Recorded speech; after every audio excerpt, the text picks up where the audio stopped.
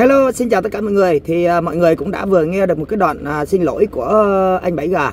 Thì uh, nói tất cả mọi người rằng là cái cuộc uh, chinh chiến trên đấu trường của uh, Bảy Gà cũng như các uh, cộng đồng mạng xã hội thì đến hiện tại bây giờ đã chắc có khả năng đã ngã ngủ và ai đúng ai sai thì chắc hẳn mọi người cũng đã nhìn nhận ra được một cái sự việc thì phải có một cái lý do gì đó thì một người à, lớn tuổi đầu bạc hai thứ tóc như anh Bảy Gà mới lên cộng đồng mạng xã hội.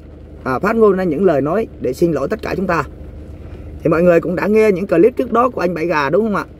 Thì mọi người có cảm thấy rằng là những cái lời nói phát ngôn của anh ấy thực sự là nó có quá đáng lắm không ạ? Nó rất quá đáng. Khi anh ấy chỉ trích công vinh thị tin thì không sao. Cái đó là cái chuyện riêng tư cá nhân của anh ấy. Nhưng anh ấy nói tính tất cả các à, cộng đồng mạng và tất cả những hội nhóm đang đi làm thiện nguyện. Thì như vậy là nó có sự ảnh hưởng rất lớn đối với tất cả những người đang sống và làm việc ý nghĩa trên đất nước Việt Nam chúng ta cũng như là những mạnh thường quân kiều bào bên nước ngoài. Một sự ảnh hưởng rất lớn mọi người ạ. Cho nên á, là cái đánh động của cộng đồng mạng xã hội là đúng chứ không có sai. Và cái sự phản biện của bảy gà đối với tất cả cộng đồng mạng xã hội là những lời nói thiếu văn hóa, thiếu nhận thức. Cái đó không bao giờ có thể ai có thể chấp nhận được. Và nhất là những người như lực tàng hay hội nhóm của anh em đang đi làm thiện nguyện, chắc cú phải có lời lên tiếng thật sự nặng và thật sự mạnh để đến được tay của bảy gà. Thì nói rồi, chúng ta là chỉ ngồi gọi như là công kích lẫn nhau. Khi ờ, bãi bảy gà lên tiếng thì chúng tôi lên tiếng. Và bảy gà à, thách đấu thì chúng tôi cũng sẽ thách đấu lại. Nhưng trong thời gian vừa rồi đây thì bảy gà đã có ra những cái clip là nói về những cái vấn đề à, có cái ý là muốn quay đầu à, với tất cả cộng đồng mạng xã hội. Còn thị tin công vinh thì bảy gà vẫn kiên quyết là sẽ xử lý tới nơi tới chốn. Còn cái cách thức xử lý của anh bảy gà như thế nào thì nó thật sự ra với tất cả mọi người thì cái đó là cái chuyện của anh ấy. Và không biết là anh ấy có thể nào đụng đến cái sợi lông chân của Thủy Tiên hay là công Vinh hay không. Thì cái đó là cái chuyện của anh ấy nói ra đằng miệng. Thì tôi cũng rất mong anh á, thực hành, cho đến nơi đến chốn và xử lý thật nghiêm minh theo những lời nói của anh nói. Tại vì mình là một người đàn ông, mình đã có tuổi. Dù sao cũng đã có người nhìn ngó và đi theo theo dõi những cái bước chân của anh đi và những cái lời nói của anh phát ngôn trên mạng xã hội rồi thì anh nói anh phải thực hiện.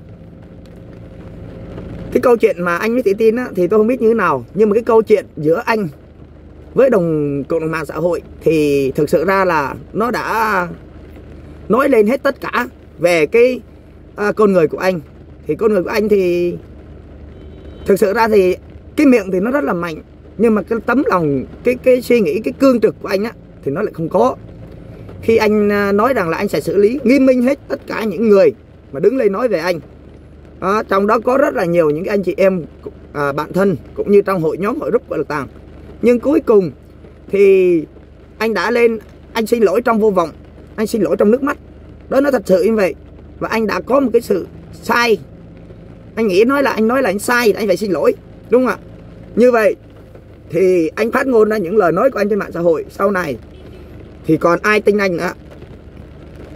Em út nó cũng chỉ mong anh á trước khi nói là phải à, uốn lưỡi và phải suy nghĩ trước những cái lời nói của mình muốn phát ngôn ra.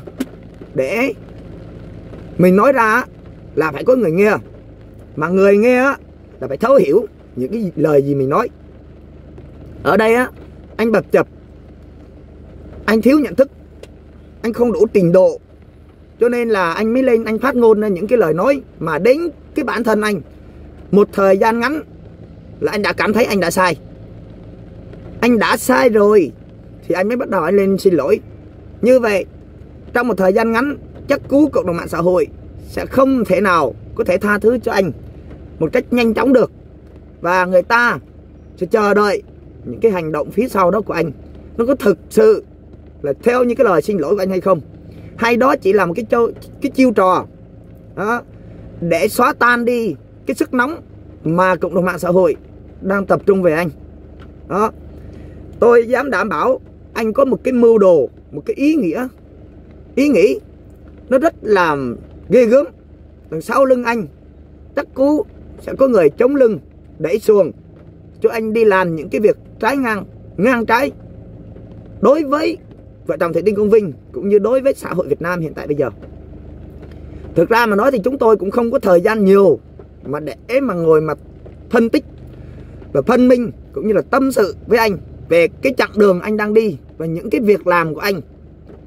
Nhưng nó trái ngang và nó chướng cái mắt quá, cho nên anh em chúng tôi bắt buộc phải lên tiếng.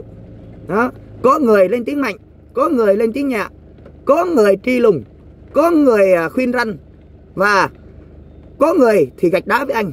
Nhưng tất cả đều chỉ mong muốn anh mở rộng cái não mở rộng cái sự suy nghĩ để hiểu sâu xa hơn một tí nữa về cái cuộc sống tương thân tương ái, lá lành đùm lá đách. Trong khi đồng bào miền Trung đang quằn mình chống lại những cái cơn bão lũ thật mạnh, đó, mất nhà, mất cửa, mất người thân, đó, cuộc sống vô phương cứu chữa, ngàn cân treo sợi tóc, trứng treo đầu gậy. Rất là nhiều những cái hoàn cảnh khó khăn mà chúng tôi đi trực tiếp đi đến nơi được rơi nước mắt đảm bảo với anh như vậy. Cầm một thùng mì tôm, cầm một gói bánh, một gói kẹo, hay cầm một bì gạo để trao đến tận tay cho bà con, thì nó chứa đọng trong tâm trí của chúng tôi rất là nhiều những cái cảm xúc. Và chúng tôi không bao giờ quên được cái cuộc hành trình mà chúng tôi đi cứu trợ miền Trung. Đó, và không bao giờ chúng tôi có thể quên được cái công lao to lớn của các quý mạnh thường quân trong và ngoài nước luôn hướng về cái chặng đường đi của anh em chúng tôi cũng như là chặng đường đi của Thủy Tiên để gửi về những số tiền thực sự có ý nghĩa. Và chúng tôi cũng đã cố gắng hoàn thành những cái nhiệm vụ được trao của các quý mạnh thường quân. Đó. Đảm bảo với anh bảy gà rằng là cái khi mà anh ra đây rồi á, thì anh coi tiền không là cái gì hết anh bảy gà. Tôi đảm bảo với anh như vậy. Anh giáp mặt trực tiếp với người dân đồng bào miền Trung. Anh ngồi trên những cái xuồng mà ngập nước, anh đi trên những cái cung đường mà xe lao xuống vực lúc nào không hay, thì anh mới có cảm giác rằng là cái tình cảm con người nó lớn lao như thế nào. Chứ không phải rằng là cái dòng tiền là nó cao cả, như cái cuộc sống hiện tại mà anh đang ngồi ở trong cái căn phòng mà anh lên anh ngồi, anh chửi rủa cộng đồng mạng xã hội, biết thủy tin nó đâu. Cuộc sống, tiền là quan trọng nhất, đúng không anh bảy? Ai cũng nghĩ, ai cũng như vậy thôi. Nhưng khi anh tiếp xúc, anh va chạm, thì tôi đảm bảo với anh tiền chỉ là phù du. Khi cái tính mạng con người đang bị đe dọa. Đó. Người giàu trong cái lúc mà bị thiên tai hoạn nạn còn cần cái gói mì tôm hơn người nghèo. Tôi cũng đã có nói trước đó về rất nhiều cái tình huống à, như vậy. Mà anh chắc chưa nghe thì hôm nay tôi sẽ nói lại cho anh nghe. Người nghèo người ta còn thủ được một cái bếp ừ, ga mini không? Một cái hột quẹt một gói mì tôm ở trong nhà hay một bịch muối một ít gạo gạo lứt gạo và gọi như là gạo gãy đôi làm ba bốn mảnh á, gạo cho heo ăn á. Người ta còn thủ lại. Thì đến khi bão lụt thì người ta có cái mà ăn. Còn người giàu ăn nhà hàng ăn quán ăn không? Ăn những cái địa điểm mà người ta làm sẵn. Ăn xong trả tiền quẹt mồm đi về. Nhưng đến cái khi mùa bão á thì không còn quán xá nào mở cửa nữa cả. Không còn nhà hàng nào phục vụ mình nữa cả. Thì mình có tiền nhưng lúc đó không có cái đút vô mồm anh hiểu chưa? Anh hiểu ý tôi nói không ạ? Thì như vậy, giàu nghèo lúc đó không còn quan trọng với nhau nữa. Mà quan trọng chỉ là cái tình người, cái tình tương thân tương ái, lá lành đùm lá rách. Cái chia sẻ cho nhau, mỗi người nửa miếng mì tôm không? Nửa bát gạo để nấu cháo, bỏ muối vô hút tạm qua bữa. Ngồi trên mái nhà, đó, để ăn sống mì tôm và uống nước. Chúng tôi cũng đã trực tiếp thực hiện nhiệm vụ và chúng tôi cũng đã cùng với người dân ở khu vực đồng bằng miền Trung thực hiện cái vấn đề đó cho nên nỗi thống khổ của chúng tôi chắc cú anh chỉ nhìn trên những cái thước phim thật đẹp và những cái thước phim của cái bạn, của cái tôi mà nó có cái ý định phản động, không có tình người thì nó đưa lên những cái thước phim để nhằm công kích đó. điển hình như chị Thị Tin nó chụp tấm hình này, vô cái địa điểm này, vô cái vị trí đó của Thị Tin thì những cái vị trí xấu nhất là nó chụp. Còn những cái vị trí đẹp thì nó không đưa lên. Thì tôi dám đảm bảo với anh anh chỉ là ít ngồi đáy giếng không? Con rùa rụt đầu khi anh chỉ lấy được những hình ảnh xấu, còn những hình ảnh đẹp của người ta, anh đâu có lấy lên đâu. Đâm ra bây giờ là anh bị lu mờ và đầu óc của anh không còn chính chắn trong sạch được nữa. Đang còn rất là nhiều cái trường hợp khó khăn, gian lao mà trên cái chặng đường đi cứu trợ miền Trung tôi và hội nhóm của chúng tôi cũng như Thủy Tiên, Công Vinh. Rất là nhiều cái khó khăn mà chúng tôi không cần phải nói ra. Chỉ cần nói sơ sơ như vậy nếu mà con người có học thức có người có bộ não của con người thì sẽ hiểu được những cái lời nói và cái sự cực khổ của chúng tôi như thế nào. Đó. Còn tiền nói đi nói lại một lần trong cái lúc đó không quan trọng nữa. Không? Và cái số tiền có thể là nó sẽ bị thất thoát, hao hụt đi một tí, một chút ít nào đó. Thì cái đó thì phải có chứ không thể nào không có. Anh có hiểu ý tôi nói không? Cầm một cái số tiền lớn như chị thị đinh công vinh thì đi bằng mình, đi cứu người. Có thể rằng là nó thâm cả vô tiền của nhà mình nữa đó. Rồi có khi nó có thể nó dư ra năm ba đồng để cái số tiền đó người ta sau này, người ta đang còn giúp đỡ đồng bào miền Trung nữa và giúp đỡ những cái người hoạn nạn bệnh tật ở các khu vực tỉnh khác nữa, chứ không phải mình đồng bào miền Trung. Và bây giờ anh soi, anh mối anh làm như vậy, các mạnh thường quân ở trong và ngoài nước, người ta không lên tiếng thì thôi không?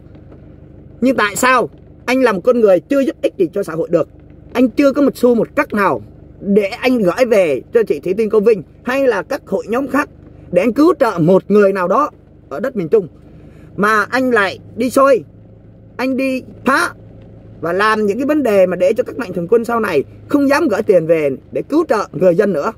Như vậy là anh đang muốn tiêu diệt đi những người ở khu vực đồng bào miền Trung nói riêng và trên toàn quốc nói chung. Thì cái hành động của anh như vậy có khác gì là cái hành động đang phản động và đang muốn phá hoại đi cái nền văn hóa, đạo đức tốt đẹp của con người Việt Nam hay không? À. đó, tôi là một người nhỏ tuổi hơn anh nhưng tôi thừa nhận thức để tôi hiểu được những cái lời nói tôi phát ngôn trên mạng xã hội. Nhưng tại sao anh là một người cha, một người ông, anh lớn tuổi như vậy mà anh lại thiếu cái suy nghĩ, thiếu cái nhận thức? Không bằng một nửa, không bằng một góc của chúng tôi. Đúng không? Ai lên thì cũng nói là mình đúng thôi. Không? Mình phân tích thì mình cứ nói rằng là mình đúng. Anh lên cũng vậy, anh nói là anh phân tích như vậy là anh đúng. Anh chắc cứu anh cầm chắc trong tay những bằng chứng chứng cử xác thực. Còn chúng tôi thì sao? Chúng tôi cũng có bằng chứng chứng từ xác thực. Cũng có những cái trực tiếp để đưa ra, để lập luận và lý luận, để cho anh hiểu được cái sự việc nó như thế nào. Nhưng tại sao anh chỉ nghe một phía mà anh không nghe hai phía? Anh nghe một phía nghịch thì anh phải nghe một phía thuận để anh rút ra một cái kinh nghiệm, anh rút ra được, anh đúc kết ra một cái lời nói của anh thực sự chính chắn để cho em út, để cho tất cả những người đang làm thiện nguyện hoặc là những người đang nghe anh nói phải hiểu được câu nói của anh nó có đầu, có đuôi, có gốc, có ngọn. Ở đây anh chỉ có một mục đích là anh muốn triệt hạ đánh tiêu diệt một người nào đó, một nhóm nào đó. Thì cuối cùng là anh cứ đi thẳng đi thẳng. Và cuối cùng anh đâm đến bờ vực thẳm. Đến hiện tại bây giờ anh cảm nhận thấy là anh đã sai, đúng không ạ? Nhưng trong thời gian sắp tới, anh vẫn còn cương quyết chống chọi Thủy Tinh ông Vinh. Thì anh còn nhận ra nhiều cái sai hơn nữa. Khi những việc làm của anh hoàn toàn bây giờ là chúng tôi đã theo dõi kênh của anh rồi. Những lời nói của anh phát ngôn rồi không có cái gì là đúng mà cũng không có cái gì gọi như để cho xã hội người ta phải à, lên tiếng và người ta phải nghe để người ta làm theo cái, cái những cái lời nói của anh. Chắc cú một trăm phần trăm anh sai hết. Tôi đảm bảo với anh như vậy. Không? Cái hướng đi của anh anh nói là anh thương tình chị Đinh Công Vinh không đi theo những cái vết xe đổ của người trước đó. Về những cái việc làm xấu xa về những cái việc làm gian lận trong vấn đề từ thiện thì tôi cũng đảm bảo rằng là nó có chứ nó không sai. Nhưng trong cái công cuộc mà anh nói về Thủy Tinh Công Vinh đến hiện tại bây giờ là tôi cho đốt là sai hoàn toàn một trăm phần trăm. Mà toàn bộ xã hội đất nước Việt Nam chúng ta cũng đang sống à, những người có não thì chắc cú là người ta cũng nói giống như tôi thôi và người ta cũng suy nghĩ như tôi thôi. Không? Còn những cái con sâu làm rào nồi canh lợi dụng việc trục lợi từ thiện chúng tôi cũng có vậy. Không? Lợi dụng danh nghĩa của lực tăng lợi dụng danh nghĩa của bánh mì lợi dụng danh nghĩa của tất cả các hội nhóm bắt đầu lấy phim lấy ảnh đưa lên trên mạng xã hội. Rồi bắt đầu là câu kéo mạnh thường quân, mang tính chất là hội nhóm của chúng tôi và lấy số tiền đó để gọi như là yếm luôn. Và chúng tôi là người mang tiếng, có rất là nhiều cái trường hợp xấu xa như vậy. Đó. Nhưng chúng tôi bỏ qua và những người đó chắc cú là sẽ lãnh hậu quả về cái tòa án lương tâm cũng như là cái à, luật đời, nó sẽ xử lý những người đó sau. Chứ chúng tôi cũng không cần phải lên, cần thiết lại lên tiếng làm gì, sân si làm gì. Và cái công việc từ thiện của chúng tôi đến hiện tại bây giờ cũng không muốn đụng chạm đến anh nhiều đâu nhưng mà vì anh quá đáng quá, anh là một con người à, đã đứng lên phá tan mọi cái sự đẹp đẽ trong cái công cuộc đi cứu trợ đồng bào miền Trung. Về những cái suy nghĩ của các quý mạnh thường quân hiện tại bây giờ đặt niềm tin cho tất cả những người đi làm hội, thiện nguyện, hội nhóm đã mất hết là do anh. Cho nên chúng tôi đang rất là bực tức và bức xúc về những cái lời nói của anh phát ngôn trên mạng xã hội. Anh phải làm những clip khác nữa để anh có cái tâm lý, anh phải có một cái hướng thực sự để anh giải quyết cái vấn đề mà anh đã gây ra cho chúng tôi, thì may ra trong thời gian sắp tới, chúng tôi sẽ không nhai nhẫn không môi móc anh nữa. Anh môi một người một người anh anh môi là thủy tinh công vinh, nhưng chúng tôi có hàng ngàn, hàng triệu người đang môi về anh để bất lợi, hoàn toàn thuộc về anh. Nếu như anh chưa làm ra ra ngô, ra khoai về cái vấn đề này, không phải là anh lên anh xin lỗi là chúng tôi có thể tha thứ chúng tôi ngưng nói về anh ngay lập tức không?